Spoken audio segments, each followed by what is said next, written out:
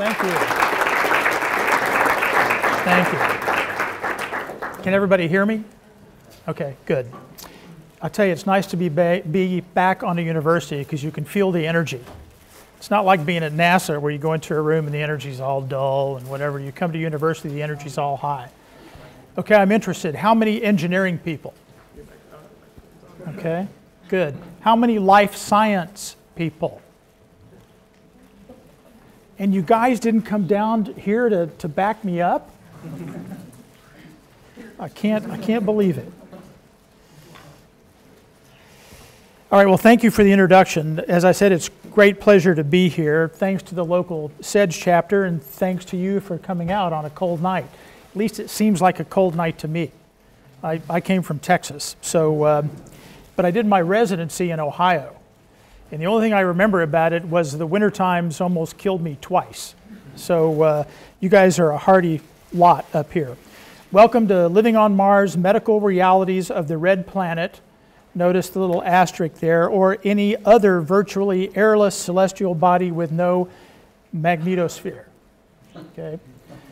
So that kind of telegraphs a little bit about my attitude about Mars. I may not be as enthusiastic about it as you are, but we'll talk about the realities of the, of the situation here.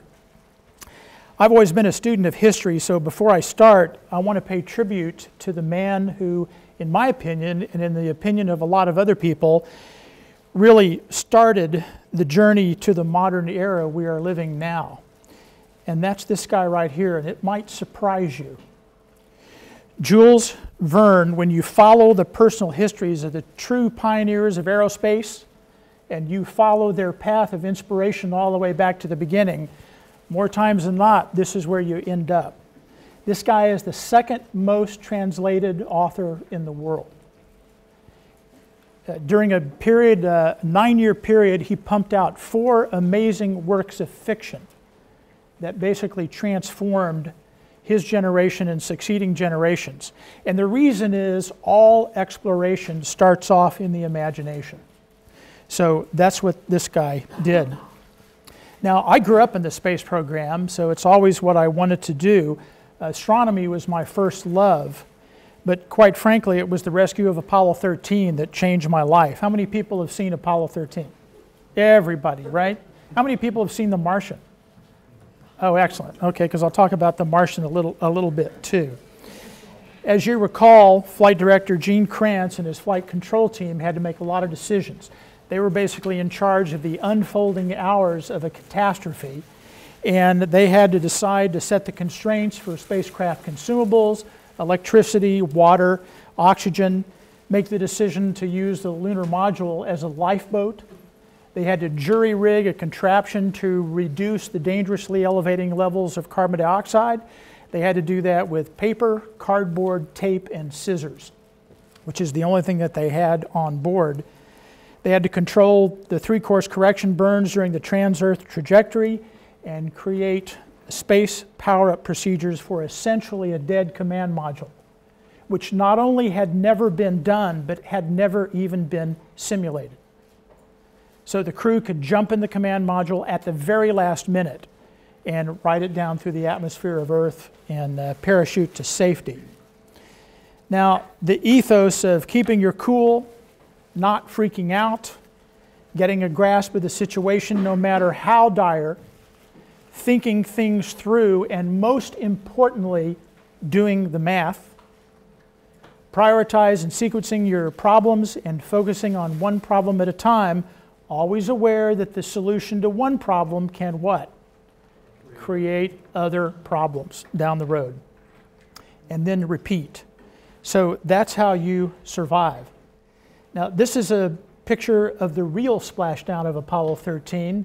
Now, I was about your age when this happened, so I follow this very closely. What you're looking at, I don't know whether my pointer works. Yeah, there's Gene Kranz right there at the flight controller's desk. That he was portrayed by Ed Harris in the in the movie. He's enjoying a victory cigar. This is in the Mission Control Center in Houston. On the big board, you can see the face of James Lovell. He and his crew are safely on the deck of the aircraft carrier Iwo Jima. Um, the Apollo 13 team, including the astronauts, had to deal with truth as it was, not how they wanted it to be. That's the point of this whole lecture to deal with truth as it is and not how you want it to be. Makes a big difference. For their heroic roles, Kranz and his flight control team and the crew all received the Presidential Medal of Freedom. Now, I followed this with laser like focus. I was so excited about this and so amazed by the tenacity, the creativity, and the ingenuity of Kranz and his flight control team. I decided right then, when I was about your age, that's something I wanted to do with my life. About 12 years later, after finishing college, graduate school, stint in the military, uh, medical school, residency training in aerospace medicine, after completing a lot of courses in uh, spacecraft systems, like environmental control and life support, guidance, navigation, flight dynamics, and participating in scores of very intense simulations, ascent simulations, orbit, and entry simulations, I was finally granted admission to one of the most exclusive clubs on Earth, and that was Gene Kranz's flight control team. And right there you see a young and invincible flight surgeon at the surgeon's console at Mission Control in Houston. Everybody in this front room is an expert in a system. The physician that sits at the surgeon's console is the only one in the room whose expertise is the, is the human system. Everybody here in this room works for the flight director. The, air, the spacecraft commander is in charge of the vehicle, but the flight director is in charge of the mission. In this room, the flight director is God. Not even the President of the United States can um, do anything against the flight director. Okay, he is the absolute authority. Believe it or not, I, at one time I did look this young. This is a picture of me seated at the surgeon's console. I'm not going to go into this in any detail because I don't want to spend a lot of time on it. But I'm sitting at the surgeon's console. See if I get my cursor going. right there. Um, I've got uh, on the big board, you can see the map. This is taken during a mission. The shuttle is off the east coast of South America. Uh, we've got an astronaut in a spacesuit in the, um, in the payload bay up here. This is a fault summary. Uh, I've got uh, data from the Environmental Control and Life Support System, event lights, which tell me how the spacesuit is configured. I've got a live downlink electrocardiogram right here, and I've I'm looking at a plot of metabolic rate as a function of time. Um, and I'm also listening to several loops, several COM loops, uh, to, try to, to try to stay up with things. Uh, this was the first PC in the, uh, in the Mission Control Center. Took me about eight months to make that happen. I know it looks ancient, but at the time, that was the, one of the most modern things around. So as a flight surgeon, I did uh, direct mission support. I took care of the crew and their families. I flew backseat in the T 38, spent some time in the shuttle simulator, especially the entry simulations, because that was the most important thing to us. I did a lot of zero G, also lunar G and Mars G in the famous aircraft known as the Vomit Comet. That's right, Vomit Comet. I did a lot of research on the Vomit Comet, including using myself as a subject. Here I have put a probe through my nose and swallowed it. It's down in my distal esophagus, and I'm measuring pH as a function of weightlessness. Notice these two astronaut candidates on either side of me are not impressed with what I'm doing. okay? Now, one of the uh, unfortunate but not quite unforeseen things that happened as a result of all this activity was I got older. Okay? But I tried to never lose my edge, and I had a little bit of reputation down there as being a disruptor, which uh, fortunately I've tried to continue. Uh, toward the end of my tenure at NASA, there was a phrase, you've all heard the term going postal? Well, there was a phrase known as going Logan. And going Logan meant you told a particularly brutal version of the, of the truth.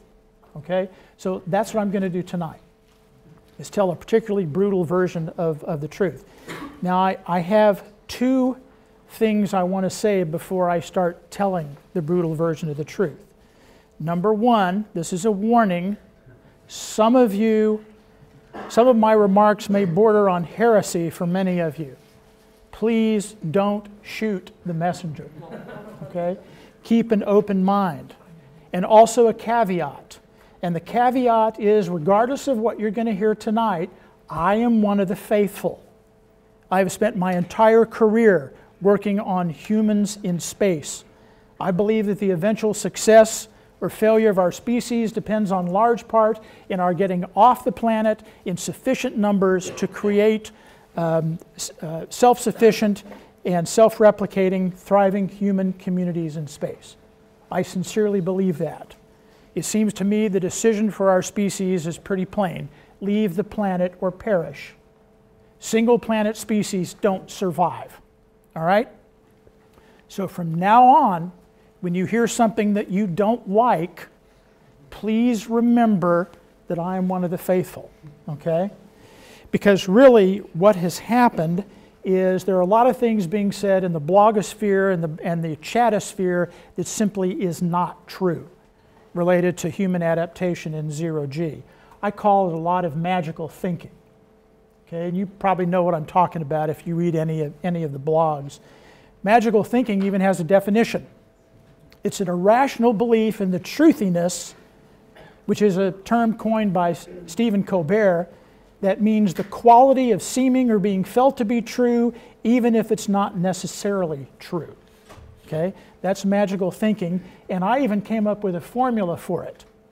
Magical thinking is ignorance to the power of arrogance.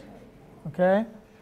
So when you combine that with a media culture that prizes clicks over credibility, what do you get? Well, you get something like Mars One. Okay? That's magical thinking. Magical thinking has paralleled what I call the rise of the space cadet. So when you hear me use the term space cadet, uh, it's, it's not a laudatory term for, for me, okay? The space cadet sees space as a blank slate. It's a psychological world for the space cadet. And the space cadet projects his or her own reality or personal belief system. These people are driven by ideology rather than evidence. They embrace truthiness and, and magical thinking, and you can know, know them by this sign when you present them with facts that countermand their belief system, their reaction is hostile. Okay? And they see that as a betrayal. They aren't very good when it comes to inconvenient truths. So I'm going to talk about a few realities tonight. All right? And reality one, I'm going to use, I know this is college, right? But I'm going to use two bad words during the presentation. And so one of my words, you've heard it all before, is space doesn't give a damn about your ideology. It's always trying to kill you. It's trying to kill you fast or it's trying to kill you slow, like the drip, drip, drip of Chinese water torture. But it is always trying to kill you. Now, the mantra I used was the mantra I used in mission control. And here was the coin of the realm in mission control In God we trust, all else bring numbers. Okay? So let's do the numbers. So far, we have had over 270 missions, and I'm talking about worldwide now, not just the United States. I'm talking about this species, the human species. Flown over 540 people, we have almost 130 person years of experience. Believe it or not, and this is really hard for me to believe, 2016 is year 55 of human spaceflight. What's the implication of the evidence? what is the evidence trying to tell us about what we should be doing, where we should be going, and how we should do it? Reality two humans are almost complete neophytes when it comes to experience on other planetary bodies. It amazes me when I, talk, when I hear people talk about going to the moon and going to Mars like it's old hat. These are the numbers. Six Apollo missions logged 300 hours on the moon, including 81 hours of EVA. Since each Apollo crew to the surface of the moon was a two person crew, we have 600 surface hours and 162 hours of EVA. The average surface, surface time per Apollo lunar astronaut was only 2.08 days. The average surface EVA time per astronaut, 13.5 hours. Now, ladies and gentlemen, that's not a lot of experience. And it's nothing when it comes to an occupational medicine setting. And let's all remember that no human being has been any further from the home planet than Silicon Valley is from Los Angeles in the last 44 years. So let's not get real cocky when we start talking about going back to the moon and going to Mars and setting up bases. That's a little, little cocky based on the experience that we have. So, reality three. The biggest cha- challenges to interplanetary human spaceflight are flight dynamics numero uno. Flight dynamics is always constrained by the cold, hard physics of the rocket equation. How many of you know the rocket equation? Okay, I'll bet not very many. So, congratulations to those of you who do. We'll talk about it a little later.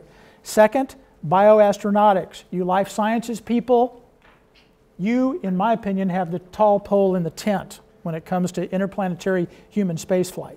Bioastronautics is the psychophysiological realities of human adaptation or the lack thereof to the deep space environment and power. And, ladies and gentlemen, in my opinion, take all this with a grain of salt. I know I'm an old guy with the gray hair. Solar energy, solar power won't cut it. Won't cut it. To go anywhere, to do anything, we're going to need a higher power density solution. That power density solution is nuclear fission. And that's one of the reasons I'm here at University of Michigan. When I was asked to come up here, I was excited to do it because I know you guys have the number one nuclear engineering program on the planet. Okay? So I was very excited to, to do that. Konstantin Tsiolkovsky a almost totally deaf, self-taught school teacher that lived north of Moscow. He was the one that gave us the keys to the cosmos, and that is the rocket equation. No matter what technology we invent in the future, that technology is described in this equation. You all should know it. You all should get used to it. Believe it or not, this guy actually published his findings in 1903, the same year as the Wright brothers. He was a visionary genius. He actually derived escape velocity and then told us how you could do it with a liquid fueled multi stage rocket. That's an amazing accomplishment. So everyone should know about Tsiolkovsky. Of course, he authored 90 papers, and what do you think happened to it? he was summarily ignored in his time, okay, because he was decades ahead. Now, to give you a little schematic about the draconian physics of the rocket equation, here's the Saturn V moonship. A schematic of the Saturn V moonship. This thing weighs six and a half million pounds fully fueled on the pad. It's as tall as a 16 story building. When I was about your age, I got within about 50 feet of Apollo 13 when it was on the, on the pad. So I can tell you from firsthand how impressive this is. 12 minutes later, after ignition, less than 5% of it gets into orbit. From there, less than 1.5% leaves Earth orbit to go to the moon. And coming back, this little thing right here, less than two tenths of 1%. Now remember, I told you you got to do the numbers, do the math. For those of you that have the audacity to doubt my veracity, here are the numbers, okay? Along with an impeccable reference. Gravity wells do matter. The numbers I just showed you was going from the Earth to, to the moon.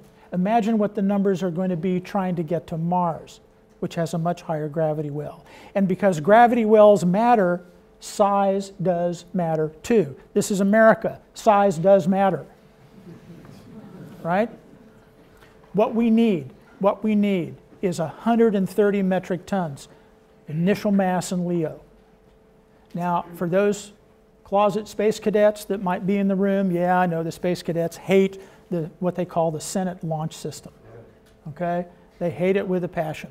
They think we're going to do it with medium sized rockets and propellant depots. Ladies and gentlemen, you just saw the numbers. Okay? In, in my opinion, their philosophy is, is summarized mostly by this chart.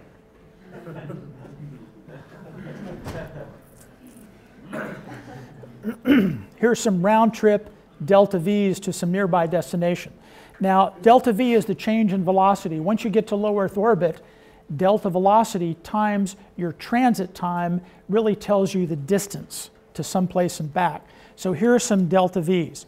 Notice, first of all, that it takes less delta V to go to the moons of Mars than it does to go to the lunar surface. It takes almost twice the delta V to go to the Mars surface as it does to go to Deimos. Now, Deimos is 99.99% of the way to the Mars surface. And the space cadets say, why would anybody go 99.99% of the way and then stop? Well, there's your reason. There's your reason. Okay? So here's the first thing I'm going to say that you won't like. Remember the caveat?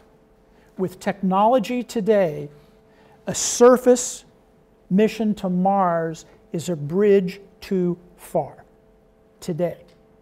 Won't always be that way, but it is today. Okay? The brainiacs at JPL, and I use that term with a lot of affection. The geniuses at JPL can't even figure out how to land something heavier than Curiosity on the Mars surface. And if they can't do that, then we're not going to be landing a bunch of people and doing Mars bases. Yes? Do you have a rough estimate for what Mars is with some aero capture? What? Well, it, we'll talk about aero capture in just a second because that's. Are you a space cadet? Okay. because space cadets always say, yeah, but we need to do aero capture.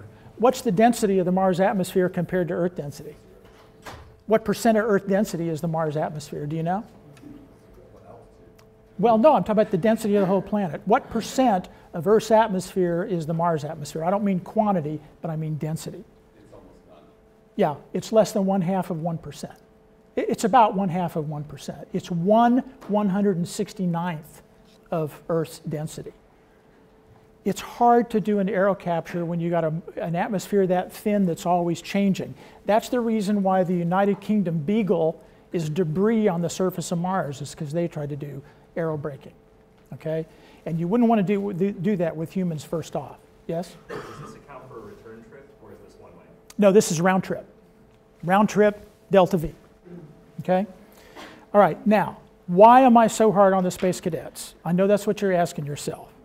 Well, I have a confession to make. Okay? I was a teenage space cadet. How many people recognize this? Okay. I was about your age, maybe a little younger than you when this came out. What is this from? This is one of the publicity stills from 2001. And when I saw this, I fell in love with it.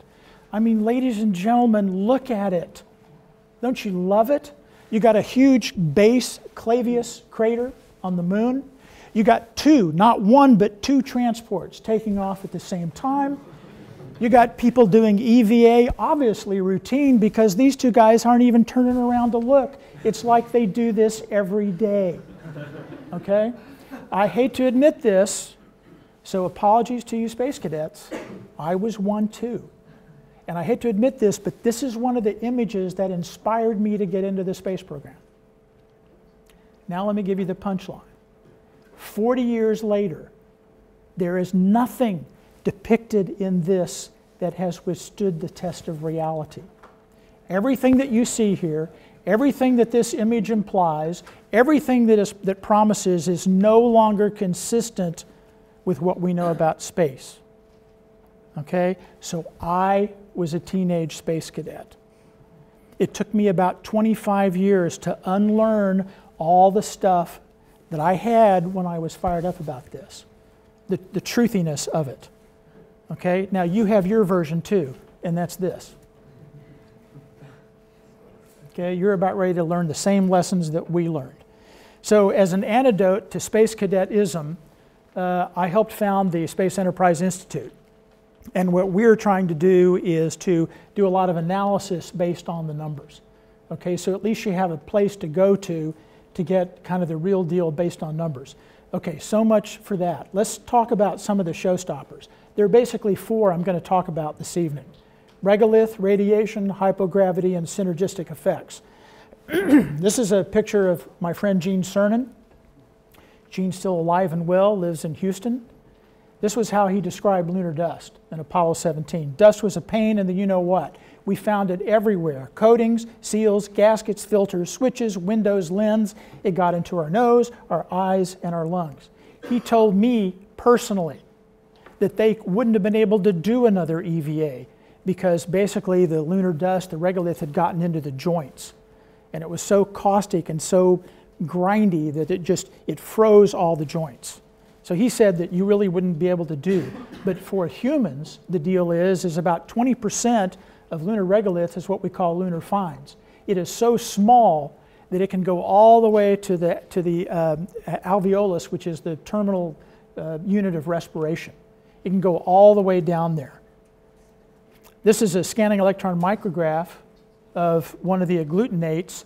And if you're, if you're a life science person, you realize look at all the surface there. This has not seen water or air for four billion years. Okay? It's just dying to react with biological tissue, and it does. It does. If that weren't bad enough, all these grains have also been etched by radiation. So you can look at all these bonds in there, almost look, visualize them as magic fingers, and they want to react with anything. If that weren't bad enough, now in the plagioclase, and look at the size down here 100 angstroms, 10 nanometers, You've got elemental iron with a valence of zero, not the plus two and plus three versions that we're used to seeing on Earth, but a valence of zero. In an aqueous environment like the lung, these nanoparticles will probably be liberated and can get into the bloodstream. If you breathe this in, if, if Earth based nanoparticles are any guide, these can go up the olfactory nerves of the nose and directly into the brain and bypass the blood brain barrier altogether. Now, how will the human body react to this? We don't know. We don't have a clue. Okay? This is some of the, um, uh, some of the biochemical pathways, and the analog here is stone grinder's disease. Stone grinder's disease we know about from the Hawks Nest Tunnel in the Gauley Mountain in West Virginia. This was built during the Depression. And miners went in there and they ran into a quartz vein. And rather than move the tunnel, they grinded through this quartz grain and generated a lot of fine quartz dust, which they inhaled. And even though they were only exposed to it for uh, maybe four weeks, within six months, hundreds of miners were dead from pulmonary fibrosis. It's one of the worst disasters in occupational medicine history and we're worried this could be a good analog for this kind of thing. So what we're worried about is where on the toxicity status does lunar regolith reside? Is it like titanium dioxide or is it like quartz? How many people recognize this picture? Okay, Pete Conrad actually set Apollo 12 down within a thousand feet of Surveyor 3 and then did an EVA and went and harvested some equipment on Surveyor 3 to bring back and, and look at it. When they analyzed it, they, it had been completely scoured by the landing of Apollo 12. When they ran the numbers, they figured out that when something comes down and lands on the moon, it accelerates the fines so much that you can actually make them go almost all the way around the planet. Okay? So remember those nice pictures of those things taking off in the background when you're outside EVA? I hate to tell you this, but it ain't going to happen. Ain't going to happen. So that's one thing that's off. How about Mars? What do we have to worry about on Mars? Well, there are two things that we're kind of worried about. One is perchlorates, because the Mars soil is about one half to 1% perchlorate, and perchlorate is toxic to human beings. Okay? And the other is hexavalent chromium, which is there in much less concentration but is a very, very potent carcinogen. Here are some of the medical problems for spaceflight. I'm not going to go into these to any detail because it's primarily an engineering audience. All I'm trying to tell you is, is there are a lot of things that happen when you put human beings in space. Most things, the body does a kind of a de-adaptation and then they reach a new set point. But there are a couple things that starts to change and it just keeps getting worse. One of them is radiation, we'll talk about that, and the other is bone density. You start to lose bone density immediately upon being in zero G, and you continue to lose it. And it's worse than we ever thought it was, not better. This is some of the muscle atrophy in the rat. These are normal rats, and these are rats after nine days of microgravity. Not only do you lose muscle mass, you lose muscle alignment. And the mass may come back post flight, but the alignment doesn't quite all the way come back. So that's another thing we have to, we have to worry about. This, of course, is, the, is a schematic of the femur. I want to point out the, the neck of the femur and also the trochanters. Um, in space, what happens is there, there, there are two kinds of bone. There's, there's cortical bone and trabecular bone. Trabecular bone is in the, in the inside, and this is kind of a cast of trabecular bone. In zero G, this trabecular bone starts to resolve, and it actually disappears, a lot of it. And it doesn't appear to come back very well post flight. Um, on um, some of the CT scans that have been done, trochanter bone loses about 7 to 20 percent uh, femoral neck loses about 16%, and we have outliers up to 30%. And this is on a six month ISS flight. This is a huge problem and may be one of the rate limiting steps. We also have visual changes. About 30% of shuttle astronauts and about 60% of space station astronauts have reported uh, changes in visual acuity, some of which does not come back, some of which is permanent. And we've even found some physical changes on MRI post flight of some of those. Now, for everything that happens, we have a countermeasure for, or for most things. So this crew spends a lot of their time just doing these individual countermeasures to try to go against the deadaptation in, in zero G. But the dirty little secret is the countermeasures really don't work all that well. They tend to retard the rate of deconditioning, but they don't prevent deconditioning altogether. Some systems are better than others.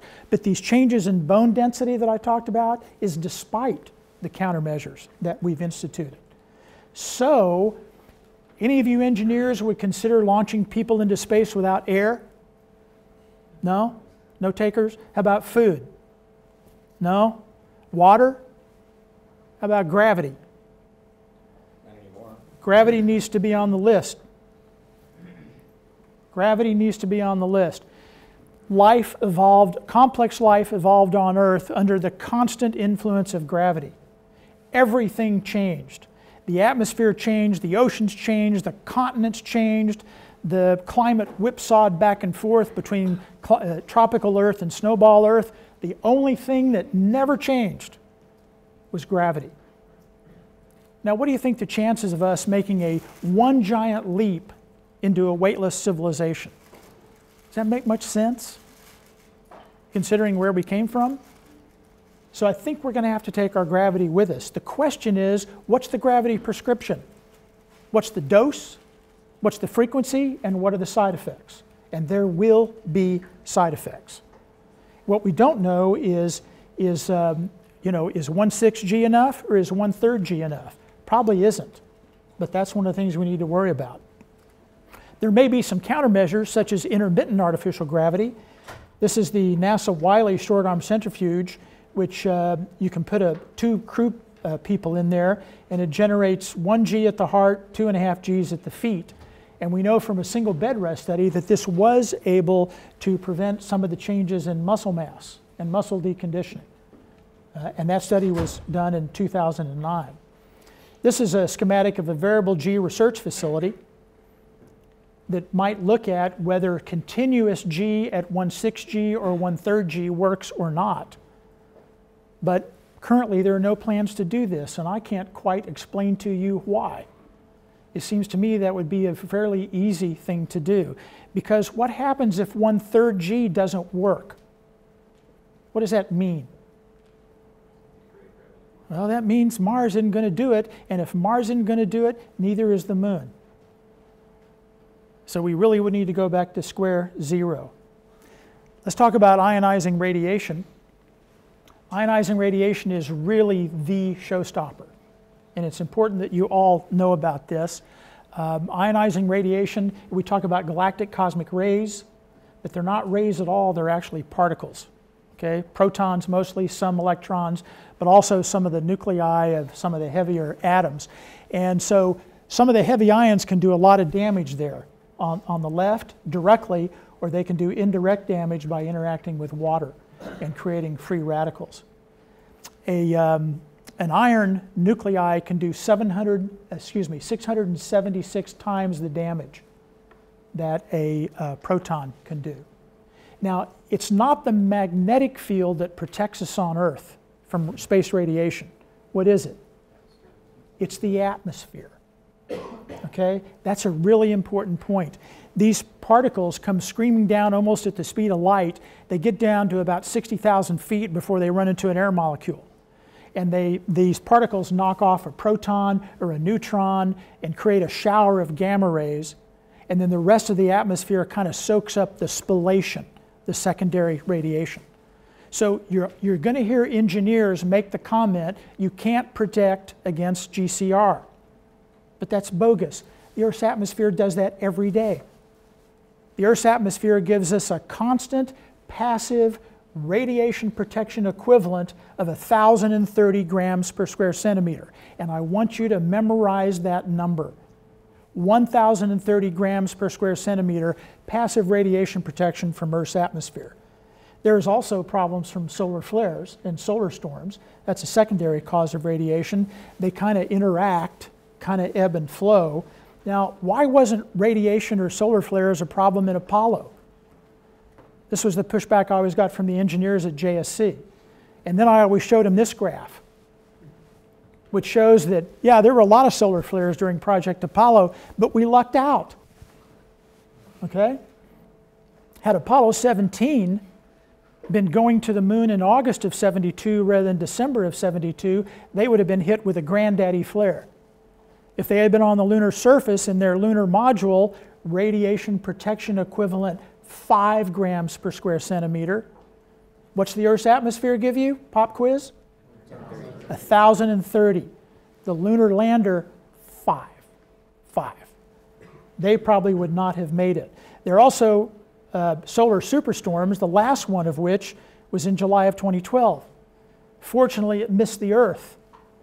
Had it been one week earlier, Earth would have been right in the middle, and we'd have still been picking up the pieces for the solar superstorm. There is a, there is a concept known of risk of exposed induced death, or, or, or the REID. And we decided, along with the National Council of Radiation Protection, that for astronauts, we would accept a 3% increase in cancer, what we call the 3% REID. So if you're an astronaut, your career limit depends on your age and on your gender. Young people can take less radiation, older people can take more radiation. Finally, one positive aspect of being older, right? Okay, and it's when you start flying that this, that this takes place. The, the point is, is that between 1989 and 2000, they kept the 3% REID, but the amount of radiation need to get to the REID was cut by about a half, or in some cases, two thirds. That's not a more conservative standard. It's still a 3% read. What it shows is, is that the radiation research indicated that radiation was a lot more of a problem, biological problem, than we even thought when you compared 2000 and 1989. So here are the numbers. This is the second thing that you're not going to like. Okay, but this is based on numbers. None of these are Logan's numbers. None of them. I'm just telling you a particularly brutal version of the truth. We measured the interplanetary radiation on the Mars Science Laboratory. That was the vehicle that took Curiosity to Mars. So on that 253 day journey, 560 million kilometers, the average, average daily dose of radiation in interplanetary space inside the vehicle was a whopping 1.8 millisieverts a day. That's 180 millirems a day. That's 200 times the average daily dose at sea level on Earth from all sources except medical. And for galactic cosmic rays, it's 2,000 times the GCR every day. So let me give you the statistic that you'll remember. If you're in interplanetary space, every 19.4 hours, you get as much radiation as you do in one year here on Earth. Every 19.4 hours. On the surface of Mars, it's 4.8 days. I'll let those numbers seep in just a little bit. What does that mean? Okay, it means this. Are we going to see astronauts on the moon doing routine EVA day after day? If you still think astronauts are going to wake up on the moon, drink their Tang, put on their spacesuit, grab their pick and shovel, and go out and do an eight hour EVA five days a week, I have bad news for you. It ain't going to happen. It's not going to happen. What about this? Small pressurized rovers?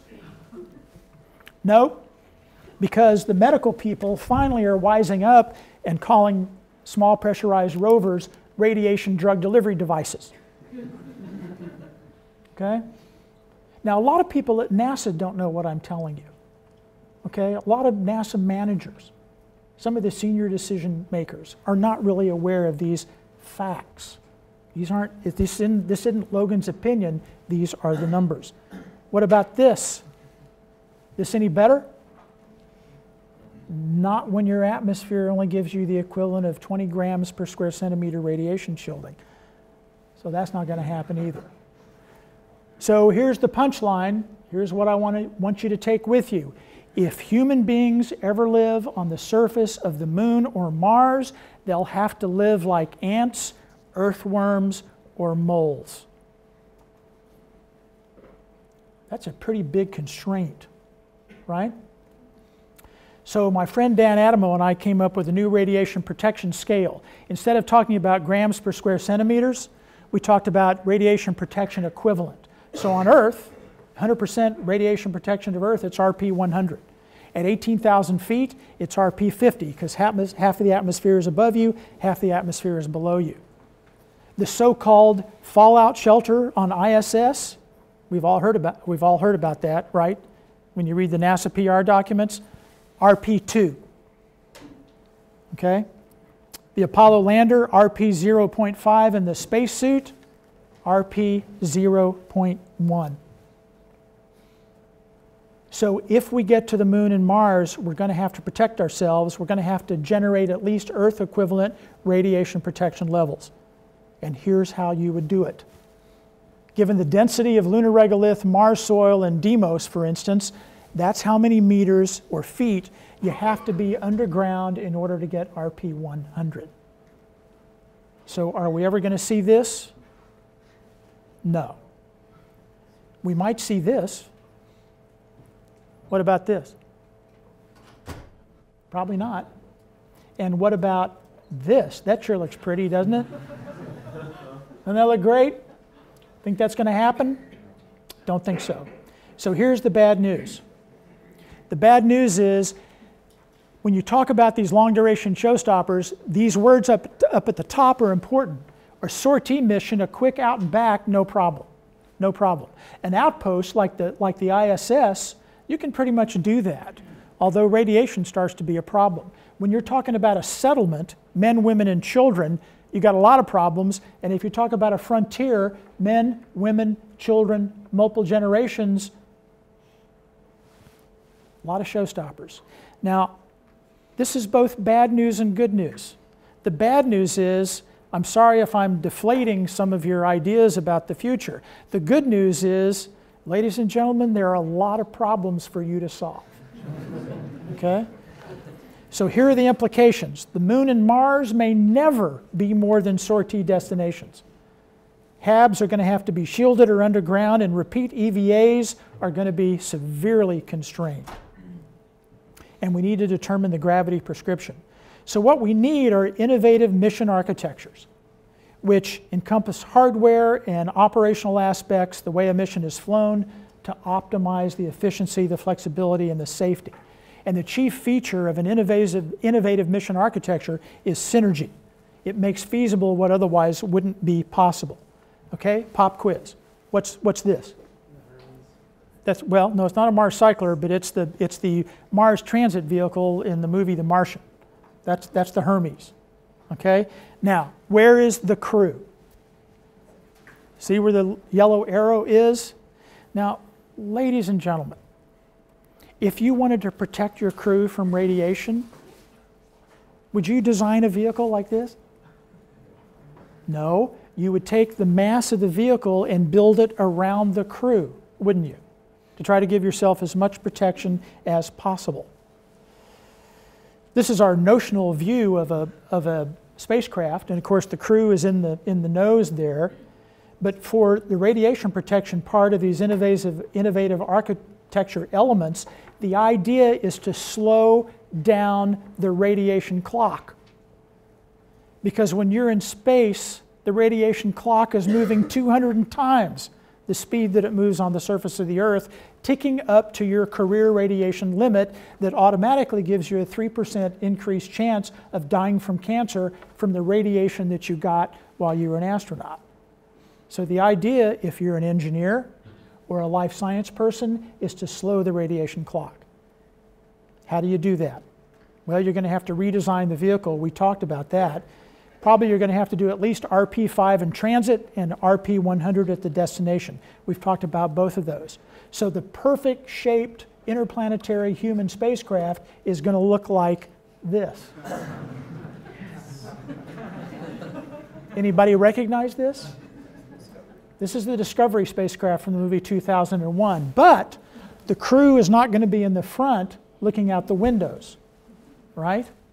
The crew is going to be in the middle. Now, I grew up in Oklahoma, so I can say this, but here's the Okie version. okay? Where you might use regolith at your destination to help shield you on the way back. Or you can use water, but you have to use a lot of it if you're going to fully protect your crew, and that really isn't too feasible. And that's the reason why you have to have RP100 at your destination. So, what's the best concept of operations for human inter interplanetary spaceflight? Because remember, remember I'm one of the faithful. I believe that we need to be doing this to protect the species. So I'm not trying to pour cold water on anybody's dreams. I'm just trying to give you a particularly brutal version of reality. It looks like the best concept of operations is forward deployed humans in the loop doing telerobotic exploration utilizing low latency time techniques from protected habitats. That's probably what we're going to be doing. We already do that in some places here on Earth. Here are some telemining and teleconstruction. We already do that here for mining. This guy his, at his desk is doing telerobotics for these big mining pieces of equipment. Notice there are no people there. What about telesurgery? We all, we all now we do routine intercontinental telesurgery. That's very important. If you're an engineer, you need to learn about this technology because we probably be using it. So if we're on the moon and we need to mine on the moon, we'll have to do it from a subterranean aspect. And this is courtesy of my friend Greg Baiden. And that's what a 3D schematic might look like doing mining on the moon or maybe even mining on, on Mars. So let's talk about, based on what we've learned, what is the perfect place for humans to get a toehold in space? Well, low delta V, lots of resources, little or no gravity well, at or near Earth gravity for people, plant, and animals, natural radiation protection, and permit large redundant ecosystems and serve as a staging area.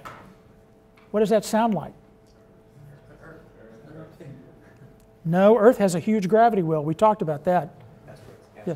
Asteroids. Where are the closest asteroids that have a launch window every 2.14 years? Phobos and Deimos. And Deimos sits at the edge of the Mars gravity well. Deimos has a lot of things going for it. Here's a schematic of Deimos. Um, Mars is this direction. It's locked like our moon is, so the same face of Deimos always faces Mars. In my opinion, this is the Mars facing side of Deimos. That's some of the best imagery that we have. This is the most valuable piece of real estate in the solar system right now. Because please understand, uh, a human landing on Mars is inevitable. So I don't want to give you the impression that I don't think it's ever going to happen. I'm just saying it's not the way to start. The way to start is send humans to Deimos, have your protected habitats there. Here's some virtues of Deimos, and I'm not going to go through this uh, one by one, but look at this. Escape velocity from Deimos, a whopping 12.5 miles an hour. now remember all the gravity well numbers I showed you earlier? Doesn't this sound good if you're an engineer? Right? only 20 kilometers, uh, 20,000 kilometers away from the Mars surface. Round trip light time of 130 milliseconds. Round trip. You can sure do a lot of high fidelity telerobotic exploration of Mars. From Deimos, Mars appears to rotate eastward about a little less than three degrees an hour. So you can have direct line of sight on an asset on Mars for almost two and a half sols before it rotates uh, uh, you know, out of the line of sight. Uh, my friend Dan Adamo and I came up with a um, idea called Aquarius, a reusable water-based interplanetary human spaceflight transport. So go to the Space Enterprise Institute website and read all about it. Um, this vehicle is 54% water by mass at interplanetary departure because we use water for propellant, we use it for consumables, we use it for radiation shielding. And to get Mars capture at the end of your transit, you burn your radiation shield. And then you're only exposed for a couple of days before you actually get to Deimos. Now, I'm sure I don't have to tell people in this audience who this guy is, right? Everybody in SEDS ought to know who Gerard K. O'Neill is. Do you? No? No. Okay, Gerard K. O'Neill was the father of the modern space colony. Okay, that's what started this whole human movement. He was a physicist at Princeton University. He did a publication in 1977 and uh, published a, also published a book called The High Frontier. This is an O'Neill style colony. It's basically a sphere with a bunch of wheel shaped structures that are the agricultural facilities, and this is what it looks like from a size standpoint. Okay? So this, this is the Empire State Building on the right. Um, and uh, that'll give you an idea of the relative size. So if you took something like Deimos and you could do a core in the middle of Deimos, and your core size was about a half a kilometer by 15 kilometers, you're pulling out all this mass of Deimos that you can use for resources. And Deimos might be a carbonaceous chondrite asteroid. If it is, if only 1% of that is water. That core has 36.7 billion liters of water in it. Okay? If you're a believer in the O'Neill colonies, and since you don't know about the O'Neill colonies, you guys need to learn about, about that. That's uh, very important. Here's what you could do after you did that core you could put 11 O'Neill colonies back to back, just like putting beads in a straw, and each one of those colonies housed 10,000 people. 10,000 people. Look at all the radiation protection those people had. You could probably have a gamma ray burst go off at Alpha Centauri and still be safe. I'm exaggerating. I don't know whether that's the case or not. You'll have to run the numbers and let, and, and let me know. But the inside of these colonies could be pretty creative, and they rotate to create gravity. Okay? So that's one option we might, we might use. Here's another artist rendition. Uh, Bryan Versteeg is the artist.